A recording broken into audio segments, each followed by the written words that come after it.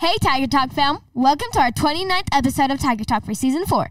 We're your host. I'm Sophia. I'm in the fifth grade. I am Brayden, and I'm a fourth grader. I am Gabby. I'm also a fourth grader. We're East students at John Tyson Elementary School in Springdale, Arkansas. And this year, our school is celebrating its 50th anniversary. So we are going to tell you of golden stories. We have invited Tyson Tigers from 1972 through 2022 to join us this season. Today, we're talking with Miss Katie Gibbs, former Tyson Tiger.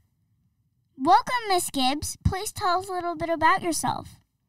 Hey guys, thank you so much for having me on this podcast. Um, so, I grew up in Springdale. I'm a former Tyson Tiger. I now live in Rogers and I'm in college studying social media, and I have my own little art business. Okay. What is your favorite memory at JTE?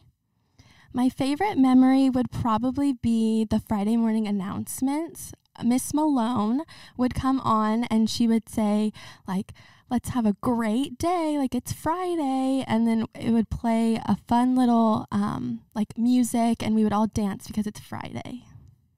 That is a fun memory. What is a lesson you learned from the students and staff at JTE that has helped you in life? A lesson that I've learned would probably be to just always be kind, and I learned how to be a leader. Um, I was in a lot of clubs and programs here, and I really think that they taught me the skills to work with other people in groups and how to be a leader and let my voice like be heard.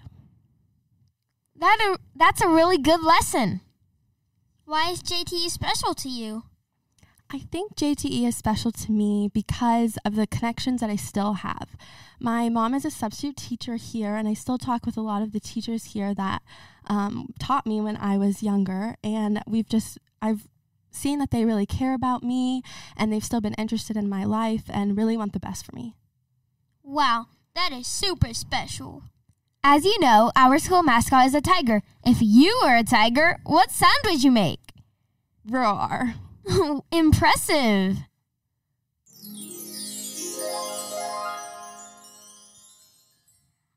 Our East program started a campaign to spread positivity. What is the best way you know to spread positivity? The best way I know to spread positivity is to smile. I love smiling at strangers or anyone just because you never know um, how that'll make their day. That's an awesome way to spread positivity. Thank you for sharing your golden story with us. Once a tiger, always a tiger. Now it's time for the Tiger Tee Hee.